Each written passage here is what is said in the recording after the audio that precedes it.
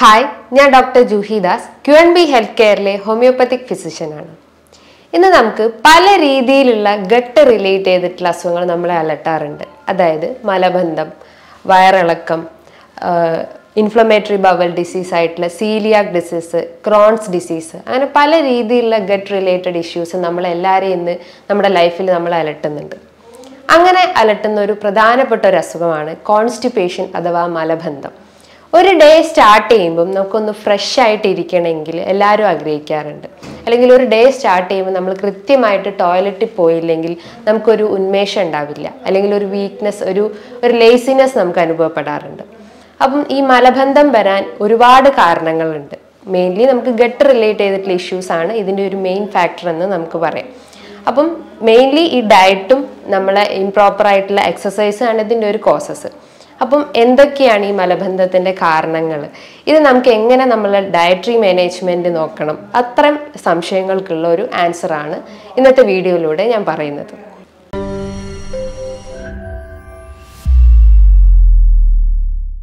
Constipation അഥവാ മലബന്ധം. അതായത് നമുക്ക് ഡെയിലി ഒരു ഡേ സ്റ്റാർട്ട് ചെയ്യുമ്പം തന്നെ നമ്മൾ ടോയ്ലറ്റിൽ പോയില്ലെങ്കിൽ നമുക്കൊരു ഒരു ഉന്മേഷം ഉണ്ടാവില്ല. അല്ലെങ്കിൽ ഒരു വീക്ക്നെസ് അനുഭവപ്പെടാം. ഈ മലബന്ധം വരാൻ ഒത്തിരി കാരണങ്ങളുണ്ട്. അതിൽ ഓരോന്നോരോന്നായിട്ട് നമുക്കിവിടെ ഡിസ്കസ് ചെയ്യാം. പ്രധാനമായിട്ടും നമുക്ക് മലബന്ധം ഉണ്ടാവാനുള്ളത് നമ്മളെ ബോഡിയിൽ സെറോട്ടോണിൻ എന്ന ആ ഒരു കെമിക്കൽ ഡെഫിഷ്യൻസി കൊണ്ടാണ്. സെറോട്ടോണിൻ എന്ന് പറയുന്നത് ഒരു ഹോർമോൺ ഒരു chemical that is produced in our intestines and brain ഇതിന്റെ സഹായത്തോടെയാണ് നമ്മളെ ഇൻഡസ്റ്റൈൻസിൽ പെരിസ്റ്റാൾട്ടിക് മൂവ്മെന്റിന് സഹായിക്കുന്നത്. അതായത് നമ്മൾ ഫുഡ് കഴിച്ചു കഴിഞ്ഞാൽ അതൊന്ന് ബബൽ മൂവ്മെന്റ്സിനെ സഹായിക്കുന്നതാണ് ഈ പെരി സെറോട്ടോണിൻ ചെയ്യുന്നത്. പിന്നെ അതോ അതോടൊപ്പം തന്നെ നമ്മളെ ബ്രെയിനിന്റെ അതായത് നമ്മളെ മൂഡ്സിനെയൊക്കെ കൺട്രോൾ ചെയ്യുന്നതും ഈ സെറോട്ടോണിനാണ് അപ്പം ഈ സെറോട്ടോണിൽ ഉണ്ടാകുന്ന ഡെഫിഷ്യൻസിയാണ് നമ്മൾക്ക് ഈ കോൺസ്റ്റിപ്പേഷൻ മലബന്ധം പോലത്തെ ബുദ്ധിമുട്ടുകൾ ഉണ്ടാകുന്നത് രണ്ടാമതായിട്ട് നമുക്ക് പറയാം ബയൽ സെക്രീഷൻസിന്റെ പ്രൊഡക്ഷൻ കുറയുന്നത്. അതായത് ബയൽ പ്രൊഡക്ഷൻ കുറയുന്ന ഒരവസ്ഥ നമുക്കറിയാം ഈ ബയൽ എന്ന ആ ഒരു പിത്തരസം നമ്മളെ ലിവറിൽ നിന്ന് ഉൽപ്പാദിപ്പിക്കുന്നതാണ്. ഈ പിത്തരസത്തിന്റെ സഹായത്തോടെയാണ് നമുക്ക് ഡൈജഷനെ സഹായിക്കുന്നത്. അതായത് പ്രോപ്പറായിട്ട് നമ്മൾ കഴിക്കുന്ന ഭക്ഷണം അത് ഡൈജസ്റ്റ് ചെയ്യാനും അതിൽ നിന്ന് ന്യൂട്രിയൻസിനെയും വൈറ്റമിൻസിനെയും ഒക്കെ അബ്സോർബ് ചെയ്യാൻ സഹായിക്കുന്നത് ഈ ഒരു ബൈലാണ് ഈ ബയലിന് ഇത് കൂടാതെ തന്നെ നമ്മളെ ബവൽ മൂവ്മെന്റ്സിനെ സഹായിക്കുന്നു. അതായത് പെരിസ്റ്റാൽറ്റിക് മൂവ്മെന്റ് എന്ന് പറയുന്നു. പെരിസ്റ്റാൽറ്റിക് മൂവ്മെന്റ് എന്ന് പറഞ്ഞാൽ നമ്മൾ കഴിച്ചു കഴിഞ്ഞിട്ടുള്ള ഫുഡ് അതായത് ചെറുകുടലിലും വൻകുടലിലും എത്തിക്കഴിഞ്ഞാൽ അത് പ്രോപ്പറായിട്ട് ബവൽ മൂവ്മെന്റ്സ് ചെയ്തതിന് ശേഷമാണ് അത് മലമായി പുറത്തേക്ക് പോകുന്നത്. അപ്പം ഇതിന് സഹായിക്കുന്നതാണ് ഈ ബയൽ ചെയ്യുന്നത്. ഈ ബയലിന്റെ ഈ ബയൽ സെക്രീഷൻസ് ഉണ്ടാവുന്ന അതായത് ആ സെക്രീഷൻസ് ആബ്സെന്റ് ആകുമ്പോൾ അല്ലെങ്കിൽ ആ സെക്രീഷനിൽ എന്തെങ്കിലും ഒരു ഡെഫിഷ്യൻസി വരുമ്പോഴാണ് നമുക്ക് ഈ മലബന്ധം പോലത്തെ ബുദ്ധിമുട്ടുകൾ ഉണ്ടാവുന്നത്. അപ്പം അതൊരു സെക്കൻഡ് ഫാക്ടറായിട്ട് നമുക്ക് പറയാം. മൂന്നാമതായിട്ട് നമുക്ക് പറയുന്നത് നമ്മുടെ ഗട്ടിൽ ഓവറായിട്ട് മെഥനോജനിക് ബാക്ടീരിയന്റെ പ്രൊഡക്ഷൻ അധികമാവുന്നു. അതായത് മെത്തനോജനിക് ബാക്ടീരിയ എന്ന് പറഞ്ഞാൽ നമ്മളെ ഗട്ടിൽ മീത്തേൻ ഗ്യാസ് പ്രൊഡ്യൂസ് ചെയ്യുന്നത്. അതായത് നമുക്ക് ഫുഡ് കഴിച്ചു കഴിഞ്ഞാൽ ഏമ്പക്കം പോലത്തെ ബുദ്ധിമുട്ടുകളും അല്ലെങ്കിൽ കീഴ്വാഴുവിന്റെ പ്രശ്നങ്ങളൊക്കെ ഉണ്ടെങ്കിൽ അതിന്റെ ഒരു മെയിൻ കാരണം എന്ന് പറഞ്ഞു കഴിഞ്ഞാൽ ഈ മെത്തനോജിക് മെത്തനോജനിക് ബാക്ടീരിയന്റെ ഒരു പ്രസൻസ് ആണ്. അപ്പോൾ അത് ഓവറായിട്ട് നമ്മളെ ഗട്ടിൽ വളർന്നു കഴിഞ്ഞു കഴിഞ്ഞാൽ അല്ലെങ്കിൽ അതൊരു കോളനി പോലെ നമ്മളെ ഇൻഡസ്ട്രിയൽ ഫ്ലോറയെ ഡിസ്റ്റേബ് ചെയ്ത് കഴിഞ്ഞു കഴിഞ്ഞാൽ ഈ ഒരു കോൺസ്റ്റിപ്പേഷനിലേക്ക് ലീഡ് ചെയ്യാനുള്ള ഒരു ചാൻസസ് ഉണ്ട്. നാലാമതായിട്ട് നമുക്ക് പറയാം നമ്മൾ എന്തെങ്കിലും മെഡിസിൻസ് എടുക്കുമ്പോൾ അല്ലെങ്കിൽ ഓവറായിട്ട് ആന്റി ഡിപ്രഷൻ ടാബ്ലറ്റ്സോ അല്ലെ എന്തെങ്കിലും ഡ്രഗ്സ് ഐറ്റംസ് ഒക്കെ നമ്മൾ കൂടുതലായിട്ടും ഡിപ്പെൻഡ് ചെയ്യുന്നുണ്ടെങ്കിൽ അല്ലെങ്കിൽ നമ്മൾ കൂടുതലായിട്ട് കഴിക്കുകയാണെങ്കിലും ഇത്തരം മലബന്ധം പോലത്തെ ബുദ്ധിമുട്ടുകൾ ഉണ്ടാവാനുള്ള ചാൻസസ് ഉണ്ട്. ഞാൻ നേരത്തെ പറഞ്ഞു ഈ സെറോട്ടോണിൻ എന്ന് പറഞ്ഞ ആ ഒരു കെമിക്കൽ നമ്മളെ മൂഡ്സിനെ കൺട്രോൾ ചെയ്യുന്നു. അല്ലെങ്കിൽ നമുക്ക് ഈ ഒരു ആങ്സൈറ്റി അല്ലെങ്കിൽ ഒരു ഡിപ്രഷൻ സ്റ്റേജിലോട്ടൊക്കെ എത്തുന്നത് ഈ ഒരു സെറോട്ടോണിൻ ഹോർമോൺസിൽ ഉണ്ടാകുന്ന ഒരു വേരിയേഷൻസ് ആണ്. അപ്പം നമുക്കറിയാം ഈ സെറോട്ടോണിൻ ഇൻഡസ്റ്റൈനിലും പ്രൊഡ്യൂസ് ചെയ്യുന്നുണ്ട് നമ്മൾ ബ്രെയിനിലും ഇത് ഉൽപ്പാദിപ്പിക്കുന്നുണ്ട്. അപ്പോൾ ഇതിന്റെ ഡെഫിഷ്യൻസി വരുമ്പോഴാണ് അതായത് മലബന്ധം പോലത്തെ ബുദ്ധിമുട്ടുള്ള ആളുകൾക്ക് ഒരു ഡിപ്രഷനിലേക്ക് കടക്കാനുള്ള ഒരു ചാൻസസ് ഉണ്ട്. അപ്പം ഈ ഒരു കോൺസ്റ്റിപ്പേഷൻ ഉള്ള ആളുകൾക്ക് ഈ സെറോട്ടോണിൻ ഡെഫിഷ്യൻസി ഉണ്ടാവില്ല അതായത് സെറോട്ടോണിൻ ഡെഫിഷ്യൻസി ഉണ്ടാവുന്നു. അപ്പോൾ ഈ സെറോട്ടോണിൻ ഡെഫിഷ്യൻസി കൊണ്ടാണ് നമുക്ക് മൂഡ് സിങ്സ് ഉണ്ടാവുന്നത്. അപ്പോൾ ഈ സെറോട്ടോണിനും ഈ കോൺസ്റ്റിപ്പേഷനും ഡിപ്രഷനും വളരെ ഡയറക്റ്റ്ലി റിലേറ്റഡ് ആണ്.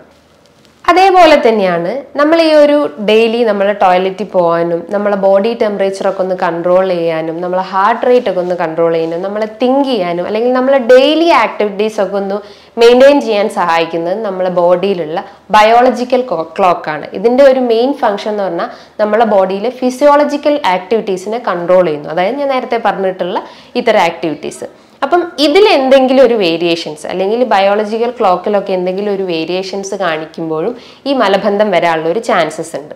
അതായത് ചിലപ്പം നമുക്ക് ടോയ്ലറ്റിൽ പോ ഡെയിലി നമ്മൾ രാവിലെ ഒരു ഏഴ് ടു എട്ടിന്റെ ഉള്ളിൽ ടോയ്ലറ്റിൽ പോകുന്ന ആളുകളായിരിക്കും. ചിലപ്പം നമുക്ക് ആ ഒരു ഈ ഡിസയർ വന്നിട്ടുണ്ടെങ്കിലും ചിലപ്പം നമ്മളത് കൂടുതലായിട്ട് സ്ട്രെയിൻ ചെയ്യേണ്ട ഒരു ഒരു ഗതി വരുന്നു. അപ്പം നമ്മൾ എന്ത് ചെയ്യും? കൂടുതലായിട്ട് സ്ട്രെയിൻ ചെയ്യുമ്പം നമുക്ക് ആനൽ റീജിയനിലൊക്കെ കൂടുതൽ ഫിഷർ അല്ലെങ്കിൽ ഹെമറോയിഡ്സ് പോലത്തെ പ്രശ്നങ്ങൾ ഡെവലപ്പ് ചെയ്യാനുള്ള ഒരു ചാൻസസ് ഉണ്ട്. അപ്പോൾ ഈ ബയോളജിക്കൽ ക്ലോക്കിൽ ഉണ്ടാകുന്ന ഒരു വേരിയേഷൻസ് അല്ലെങ്കിൽ നമ്മൾ പ്രോപ്പർ ടൈമിങ്ങിൽ ടോയ്ലറ്റ് പോയിട്ടില്ലെങ്കിൽ അതും ഈ കോൺസ്റ്റിപ്പേഷൻ അല്ലെങ്കിൽ മലബന്ധം പോലത്തെ ബുദ്ധിമുട്ടുകളിലേക്ക് ലീഡ് ചെയ്യാനുള്ള ഒരു ചാൻസസ് ഉണ്ട്. അപ്പം നമ്മൾ എപ്പോഴും രാവിലെ എഴുന്നേറ്റ് കഴിഞ്ഞ് ഒരു പ്രോപ്പർ ടൈമിങ് മെയിന്റെയിൻ ചെയ്യാൻ ശ്രമിക്കുക. അതേപോലെ തന്നെ നമ്മളെ ബോഡിയിൽ ഹൈ അതായത് വാട്ടറിന്റെ ജലാംശത്തിന്റെ അളവ് കുറഞ്ഞു കഴിഞ്ഞാലും ഈ ഒരു കോൺസ്റ്റിപ്പേഷൻ വരാനുള്ള ഒരു ചാൻസസ് ഉണ്ട്. നമുക്കറിയാം പല പഠനങ്ങളിലും ഇത് പറഞ്ഞിട്ടുണ്ട്. നമ്മുടെ ബോഡിയിൽ ജലാംശം കുറഞ്ഞു കഴിഞ്ഞാൽ നമ്മൾ ഫൈബർ ലെസ് ആയിട്ടുള്ള ഫുഡ് ഐറ്റംസ് എടുക്കുമ്പോൾ ബിക്കോസ് ഈ ഫൈബർ കണ്ടന്റ് ഭക്ഷണങ്ങൾ നമ്മളെ ഡൈജഷനെ ഒന്ന് ഇമ്പ്രൂവ് ആക്കുകയും ഗട്ട് ഹെൽത്ത് ഒന്ന് ഇമ്പ്രൂവ് ആക്കുകയും ചെയ്യുന്നു. അപ്പോൾ നമ്മൾ എന്ത് ചെയ്യണം? ഫൈബർ റിച്ച് ആയിട്ടുള്ള ഫുഡ് ഐറ്റംസ് എടുക്കാൻ ശ്രമിക്കുക. ഇതൊക്കെയാണ് ഈ മലബന്ധം വരാനുള്ള ഒരു പ്രധാനമായിട്ടുള്ള കാരണങ്ങൾ എന്ന് പറയാം.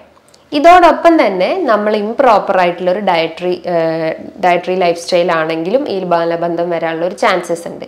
ഈ മലബന്ധം കാരണം നമ്മളെ ബോഡിയിൽ പല കോംപ്ലിക്കേഷൻസും ഉണ്ടാക്കാനുള്ള ഒരു ചാൻസസ് ഉണ്ട്. അതായത് നമ്മൾ കൂടുതലായിട്ട് നമ്മൾ മോഷൻ പാസ് ചെയ്യുമ്പോൾ അതായത് നമ്മൾ കൂടുതലായിട്ട് സ്ട്രെയിൻ ചെയ്യുകയാണെങ്കിൽ അതായത് മലം പോകാൻ വേണ്ടിയിട്ട് നമ്മൾ കൂടുതലായിട്ട് സ്ട്രെയിൻ ചെയ്യുന്ന ഒരു അവസ്ഥ വരുവാണെങ്കിൽ അത് ഹെമറോയിഡ്സിലേക്ക് ലീഡ് ചെയ്യാനുള്ള ഒരു ചാൻസസ് ഉണ്ട്. ഹെമറോയിഡ് എന്ന് പറഞ്ഞു കഴിഞ്ഞാൽ നമ്മൾ ആനൽ റീജിയണിൽ ചെറിയൊരു എക്സ്ട്രാ ഗ്രോത്ത് അല്ലെങ്കിൽ ഒരു മാസ് ഗ്രോത്ത് ഉണ്ടാവുന്നതാണ് ഈ ആനൽ റീജിയണിൽ ഹെമറോയിഡ്സ് കൊണ്ട് ഉദ്ദേശിക്കുന്നത്. അപ്പോൾ നമ്മൾ കൂടുതലായിട്ടും സ്ട്രെയിൻ ചെയ്യേണ്ട അവസ്ഥ വരുന്നു. ഹെമറോയിഡ്സ് തന്നെ പല സ്റ്റേജിലായിട്ടുണ്ട് വൺ ടു ത്രീ ഫോർ അങ്ങനെ പല സ്റ്റേജിലുണ്ട് ഒരു ലാസ്റ്റ് സ്റ്റേജ് എത്തുമ്പം ആ ഒരു എക്സ്ട്രാ ഗ്രോത്ത് അല്ലെങ്കിൽ മാസ് ഇന്റേണൽ ഹെമറോയിഡ്സ് ആണെങ്കിൽ അത് മലത്തോടൊപ്പം തന്നെ പുറത്തോട്ട് തള്ളി വരും. ചിലപ്പം ആ ഒരു കേസസിൽ നമ്മളെ മാനുവലി അത് നമ്മൾ തിരിച്ച് ഇൻസേർട്ട് ചെയ്യേണ്ട അവസ്ഥയൊക്കെ വരുന്നുണ്ട്. അതേപോലെ തന്നെയാണ് മറ്റൊരു കോംപ്ലിക്കേഷൻസ് ആണ് ആനൽ ഫിഷർ എന്ന് പറയുന്നത്. അതായത് നമ്മൾ കൂടുതലായിട്ട് സ്ട്രെയിൻ ചെയ്യുമ്പം ആ ഒരു ലൈനിങ് അല്ലെങ്കിൽ ആനൽ ലൈനിങ്ങിൽ ഒരു ടിയർ വരുന്നു അല്ലെങ്കിൽ ഒരു മുറിവ് വരുന്നു. അപ്പോൾ പേഷ്യന്റിന് ഭയങ്കര പെയിൻ അനുഭവപ്പെടുന്നു രക്തം വന്നെന്ന് വരാം. അങ്ങനെ പല കോംപ്ലിക്കേഷൻസും ഈ മലബന്ധമായിട്ട് ബുദ്ധിമുട്ടുള്ള ആളുകളിൽ അനുഭവിക്കാറുണ്ട്. ഇതോടൊപ്പം തന്നെ നമുക്ക് ഞാൻ നേരത്തെ പറഞ്ഞു ഈ സെറോട്ടോണിൽ ഉണ്ടാവുന്ന വേരിയേഷൻസ് കൊണ്ട് നമുക്ക് മൂഡ്സ് നമ്മളെ മൈൻഡിനൊന്നും കൺട്രോൾ ചെയ്യാത്തൊരവസ്ഥ വരുന്നു. അതായത് ഒരു ഡിപ്രഷൻ സ്റ്റേജിലോട്ട് പോകുന്നു. ഒരു ഡേ നമുക്ക് സാറ്റിസ്ഫൈ ചെയ്യണേ നമ്മളെ ഈ എല്ലാ ആക്ടിവിറ്റീസ് ഒന്ന് നോർമൽ ആവണം. അതായത് നമ്മൾ പ്രോപ്പറായിട്ട് ടോയ്ലറ്റിൽ പോയില്ലേ നമുക്കൊരു ഡേ കംപ്ലീറ്റ് ആവില്ല. അല്ലെങ്കിൽ ഒരു ഒരു ഇൻകംപ്ലീറ്റ് അവിടെ ഫീൽ ചെയ്യുന്നു. അപ്പോൾ അങ്ങനത്തെ എന്തെങ്കിലും ഒരു വേരിയേഷൻസ് ഉണ്ടെങ്കിലും അതായത് നമുക്ക് മൂഡ്സ് ആന്റി ഡിപ്രഷൻ ഡിപ്രസൻസ് പ്രശ്നങ്ങളൊക്കെ ഉണ്ടെങ്കിലും ഈ ഒരു മലബന്ധത്തിന്റെ കാരണങ്ങളായിട്ട് നമുക്ക് പറയപ്പെടാം. ഇതൊക്കെയാണ് ഈ മലബന്ധത്തിന്റെ ഒരു മെയിൻ കാരണങ്ങൾ. അതായത് സ്ത്രീകളിലായാലും പുരുഷന്മാരിലായാലും ഒരേപോലെ നമുക്ക് പറയാം. പക്ഷേ ഇന്ന് കുട്ടികളിലും പുരുഷന്മാരിലും സ്ത്രീകളിലും ഇന്ന് ഒരേപോലെ അതായത് കുട്ടികളിലായാലും കുറച്ചുകൂടി ഏജ്ഡ് ആയിട്ടുള്ള ആളുകളിലായാലും ഇത് ഈ ഒരു പ്രശ്നം ഒന്ന് വളരെ സാധാരണമായിട്ട് എല്ലാവരും പറയുന്നുണ്ട്. അപ്പോൾ കുട്ടികളിൽ കേസ് നോക്കുവാണെങ്കിൽ അതിന് പല കാരണങ്ങളായിട്ടുണ്ടോ? അതായത് അവർ കൂടുതലായിട്ടും ആർട്ടിഫിഷ്യൽ മിൽക്ക് അതായത് ബ്രസ്റ്റ് മിൽക്കിന് പകരം അല്ലെങ്കിൽ പശുവും പാലിന് പകരം പാക്കറ്റ് പാലൊക്കെ എടുക്കുകയാണെങ്കിൽ ഇങ്ങനത്തെ ഡയറി പ്രൊഡക്ട്സ് ഒക്കെ കൂടുതലായിട്ട് എടുക്കുകയാണെങ്കിലും ഈ കുട്ടികളിൽ മലബന്ധം വരാനുള്ള ഒരു ചാൻസസ് ഉണ്ട്.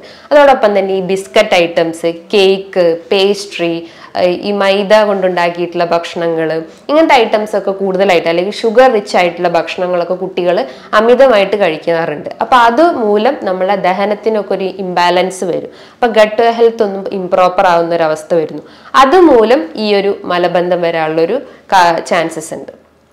അതോടൊപ്പം തന്നെ അവർ പ്രോപ്പറായിട്ട് അവരൊരു വാട്ടർ ഇൻടേക്ക് ഇല്ലെങ്കിൽ അതായത് പ്രോപ്പറായിട്ട് വെള്ളം കുടിച്ചിട്ടില്ലെങ്കിലും ഈ ഒരു മലബന്ധം വരാനുള്ള ഒരു ചാൻസസ് ഉണ്ട്. ഇനിയിപ്പോൾ കുറച്ചുകൂടി ഏജ്ഡ് ആയിട്ടുള്ള ആളുകളിലാണെങ്കിൽ അവർക്ക് മറ്റെന്തെങ്കിലും ഗട്ട് റിലേറ്റ് ചെയ്തിട്ടുള്ള ഇഷ്യൂസ് ഉണ്ടാവുക. അതായത് ചിലപ്പോൾ അവർക്ക് ഇൻഫ്ലമേറ്ററി ബവൽ ഡിസീസ് ആയിട്ടുള്ള ക്രോൺസ് ഡിസീസോ അല്ലെങ്കിൽ സീലിയാക് ഡിസീസ് ആയിട്ടുള്ള ഈ ഗ്ലൂട്ടൻ പ്രോട്ടീൻ അലർജി പ്രശ്നങ്ങളുള്ളവർക്കും ഇത്തരം മലബന്ധം വരാനുള്ള ഒരു ചാൻസസ് ഉണ്ട്. പിന്നെ അവരെ വാട്ടർ ഇൻടേക്ക് റെഡ്യൂസ് ചെയ്താലോ അല്ലെങ്കിൽ അവർ പ്രോപ്പറായിട്ട് ഒരു എക്സസൈസ് ഇല്ലാത്തൊരവസ്ഥ വരുന്നു കൂടുതൽ വണ്ണുള്ള ആളുകൾ അതായത് ഫാറ്റി ബോഡി അല്ലെങ്കിൽ ഒരു ഒബേസ് പേഷ്യൻസിലും ഈ മലബന്ധം വരാനുള്ള ഒരു ചാൻസസ് ഉണ്ട്.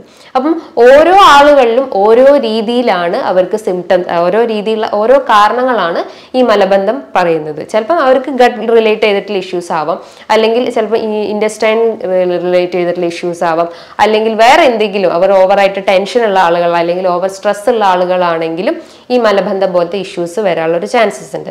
അപ്പം ഇത്തരം കാരണങ്ങളാണ് ഈ ഒരു കോൺസ്റ്റിപ്പേഷനിലേക്ക് ലീഡ് ചെയ്യുന്നത്. അപ്പം നമ്മൾ എന്ത് ചെയ്യണം? നമ്മൾ ഡയറ്റിൽ മെയിനായിട്ട് ഫോക്കസ് ചെയ്യാൻ ശ്രമിക്കണം. ഡയറ്ററി സബ്സ്റ്റൻസ് എന്നൊക്കെ പറയുമ്പം പണ്ടുള്ള ആളുകൾ വിചാരിച്ചത് വെറും വെജിറ്റബിൾസും ഫ്രൂട്ട്സും മാത്രം കഴിച്ചു കഴിഞ്ഞാൽ നമ്മളെ ഗട്ട് ഹെൽത്ത് ഒക്കെ ഒന്ന് ഇമ്പ്രൂവ് ആവുമെന്നാണ് പല ആളുകളും വിചാരിച്ചിരുന്നത്. ഇതോടൊപ്പം തന്നെ ഡയറ്ററി നമ്മൾ ഫോളോ ചെയ്യണം. ഇതോടൊപ്പം തന്നെ നമ്മൾ നല്ലൊരു എക്സസൈസ് ആണ് അവിടെ കൊടുക്കേണ്ടത്. അതായത് നമ്മൾ ആ ഒരു ബബൽ മൂവ്മെന്റ്സ് ഒക്കെ ഒന്ന് കറക്റ്റ് ആക്കാൻ വേണ്ടിയിട്ട് ജസ്റ്റ് ഒന്ന് കുനിയോ നിവരോ ഒക്കെ ഒന്ന് ചെയ്തു കഴിഞ്ഞാൽ അത്രയും ബബൽ മൂവ്മെന്റ്സ് ഒക്കെ ഒന്ന് ഇമ്പ്രൂവ് ആവും. അപ്പോൾ നമ്മൾ എന്ത് ചെയ്യണം? നല്ല രീതിയിലുള്ള എക്സസൈസ് ആണ് ബോഡിക്ക് കൊടുക്കേണ്ടത്. ഇതോടൊപ്പം തന്നെ നമ്മൾ ഡയറ്റ് മെയിന്റെയിൻ ചെയ്യുക. ഡയറ്റ് മെയിന്റെയിൻ ചെയ്യുക എന്ന് പറയുമ്പോൾ ഗട്ട് ഹെൽത്ത് ഇഷ്യൂസ് ഉള്ള ആളുകളാണെങ്കിൽ അവിടെ നല്ല ബാക്ടീരിയാസിന് സപ്ലൈ ചെയ്യുന്ന ഫുഡ് ഐറ്റംസ് ഇട്ട് കൊടുക്കുക. അതായത് പ്രോബയോട്ടിക് ഫുഡ് ഐറ്റംസ് നമുക്ക് എടുക്കാം. പ്രോബയോട്ടിക്സ് എന്ന് പറയുമ്പോൾ നമ്മളെ ഗട്ട് ഹെൽത്ത് ഒക്കെ ഒന്ന് ഇമ്പ്രൂവ് ചെയ്യുന്ന നല്ല ബാക്ടീരിയാസിന് സപ്ലൈ ചെയ്യുന്നതാണ് ഈ പ്രോബയോട്ടിക്സ് ചെയ്യുന്നത്. അതായത് ലാക്ടോബാസിലസ് പോലത്തെ നല്ല ബാക്ടീരിയാസിന് കൊടുക്കുന്നതാണ്. അതായത് തൈരോ മോരോ അല്ലെങ്കിൽ പഴങ്കഞ്ഞിയോ നല്ല വീട്ടിലുണ്ടാക്കിയിട്ടുള്ള അച്ചാറായാലും എടുക്കുന്നത് നല്ലതാണ്. ഇതോടൊപ്പം തന്നെ ഫ്രൂട്ട്സ് ഐറ്റംസും നമുക്ക് എടുക്കാം വൈറ്റമിൻ സി റിച്ച് ആയിട്ടുള്ള ഓറഞ്ച് മൊസമ്പി പപ്പായ പൈനാപ്പിൾ ആപ്പിൾ ഇതൊക്കെ നമ്മൾ ഡയറ്റിൽ ഉൾപ്പെടുത്തുന്നത് നല്ലതാണ്. ഫ്രൂട്ട്സ് കഴിക്കുകയാണെങ്കിൽ തന്നെ ഒരിക്കലും അത് ജ്യൂസ് ഫോമിൽ കഴിക്കാതിരിക്കുക. പകരം അത് ഫ്രഷ് ഫോമിൽ തന്നെ നന്നായിട്ട് കട്ട് ചെയ്തിട്ട് നമ്മൾ കഴിക്കുന്ന ഭക്ഷണത്തിന്റെ ഒരു അരമണിക്കൂർ അല്ലെങ്കിൽ മുക്കാൽ മണിക്കൂർ മുന്നേ കഴിക്കുന്നതാണ് അത്രയും നല്ലത്. അത് അങ്ങനെ കഴിക്കുകയാണെങ്കിൽ തന്നെ നമ്മൾ ആ ഒരു ഗട്ട് ഹെൽത്ത് ഒക്കെ ഒന്ന് ഇമ്പ്രൂവ് ചെയ്യും. പ്രോപ്പറായിട്ട് നമ്മൾ കഴിക്കുന്ന ഭക്ഷണത്തിൽ നിന്ന് ആ ഒരു വൈറ്റമിൻസും മിനറൽസും ഒക്കെ ഒന്ന് അബ്സോർബ് ചെയ്യാൻ സഹായിക്കുന്നതാണ്. ഇനിയിപ്പോൾ ചായയും കാപ്പിയും ഒക്കെ കുടിക്കുന്ന ആളുകളാണെങ്കിൽ അതൊന്ന് കഴിവതും കുറയ്ക്കാൻ ശ്രമിക്കുക. ചായന്റെ അകത്തൊക്കെ ഈ ടാനിനും കെഫീനും ഒക്കെ അടങ്ങിയിട്ടുള്ളത് കൊണ്ട് തന്നെ അത് നമ്മളെ അയൺ അബ്സോർപ്ഷനെ റെഡ്യൂസ് ചെയ്യുന്നു. അതായത് നമ്മൾ കഴിക്കുന്ന ഭക്ഷണത്തിൽ അയൺ റിച്ച് ആയിട്ടുള്ള ഫുഡ് ഐറ്റംസ് കഴിക്കുന്ന ആളുകളൊക്കെ ആണെങ്കിൽ അത് നമ്മളെ ഗട്ട് ഹെൽത്തിൽ നിന്നും അയൺ അബ്സോർപ്ഷനെ റെഡ്യൂസ് ചെയ്യുന്നു. ഇതുമൂലം നമുക്ക് വിര അനീമിയ പോലത്തെ പ്രശ്നങ്ങൾ വരാം. വീക്ക്നെസ് അനുഭവപ്പെടാം. മുടികൊഴിച്ചിലൊക്കെ ഉണ്ടാവാനുള്ള ഒരു ചാൻസസ് ഉണ്ട്. അപ്പോൾ നല്ല രീതിയിൽ ഇത്തരം അയൺ കണ്ടന്റ് റിച്ച് ആയിട്ടുള്ള ചീര മുരിങ്ങയില ഭക്ഷണങ്ങളൊക്കെ നമ്മുടെ ഡയറ്റിൽ ഉൾപ്പെടുത്തുന്നത് നല്ലതാണ്. ഇതോടൊപ്പം തന്നെ നല്ല രീതിയിൽ വെള്ളം കുടിക്കാൻ ശ്രമിക്കുക. വെള്ളം കുടിക്കുക എന്ന് പറയുമ്പോൾ ഡെയിലി ഒരു പത്തോ പന്ത്രണ്ടോ ഗ്ലാസ് കുടിക്കുന്നത് അത്രയും നല്ലതാണ്. ബിക്കോസ് ബോഡി അത്രയും ഹൈഡ്രേറ്റ് ചെയ്യുന്നത് യാതൊരു പ്രശ്നവുമില്ല അപ്പോൾ അത്രയും നല്ല രീതിയിൽ വെള്ളം കുടിക്കാൻ ശ്രമിക്കുക. നമുക്ക് എന്തെങ്കിലും മൂത്രക്കടച്ചിലിന്റെ പ്രശ്നങ്ങളോ അല്ലെങ്കിൽ വേറെ എന്തെങ്കിലും ഇഷ്യൂസൊക്കെ ഉണ്ടെങ്കിൽ അപ്പോൾ ഈ വെള്ളം കുടിക്കുമ്പോൾ അത് റെഡ്യൂസ് ചെയ്യാൻ സഹായിക്കുന്നതാണ്. ഈ പറഞ്ഞിട്ടുള്ള ഒരു ഡയറ്ററി പാറ്റേൺ നമ്മൾ ഫോളോ ചെയ്ത് കഴിഞ്ഞാൽ ഇത്തരം മലബന്ധം പോലത്തെ പ്രശ്നങ്ങളൊക്കെ നമുക്ക് കുറയ്ക്കാൻ സഹായിക്കുന്നതാണ്. ഇനിയിപ്പോൾ നമ്മളെ ഡയറ്റിൽ ചെറിയ ചെറിയ ടിപ്സ് ആയിട്ടുള്ള നമുക്ക് മുരിങ്ങയില അതായത് മുരിങ്ങയിലേന്റെ ഇല വെച്ചിട്ട് നമുക്ക് തോരനോ കറിയൊക്കെ ഉൾപ്പെടുത്തുന്നത് നല്ലതാണ്. മുരിങ്ങക്കോൽ വെച്ചിട്ട് അതിന്റെ ആ ഒരു പൾപ്പ് വെച്ചിട്ട് നമുക്ക് ചമ്മന്തി ഉണ്ടാക്കുന്നതും നല്ലതാണ്. ഇതിനൊക്കെ നമ്മളെ ഗട്ട് ഹെൽത്ത് ഒക്കെ ഒന്ന് ഇമ്പ്രൂവ് ചെയ്യും നല്ല ബാക്ടീരിയസിനൊക്കെ ഒന്ന് ഇമ്പ്രൂവ് ചെയ്യാൻ സഹായിക്കുന്നതാണ് ഇത്തരം ഫുഡ് ഐറ്റംസ് അപ്പോൾ ഈ പറഞ്ഞിട്ടുള്ള ഒരു ഡയറ്ററി പാറ്റേണും നല്ലൊരു എക്സസൈസും മെയിന്റെയിൻ ചെയ്ത് കഴിഞ്ഞാൽ ഈ മലബന്ധം പോലത്തെ ബുദ്ധിമുട്ടുകളൊക്കെ നമുക്ക് കൺട്രോൾ ചെയ്യാൻ സഹായിക്കുന്നതാണ്.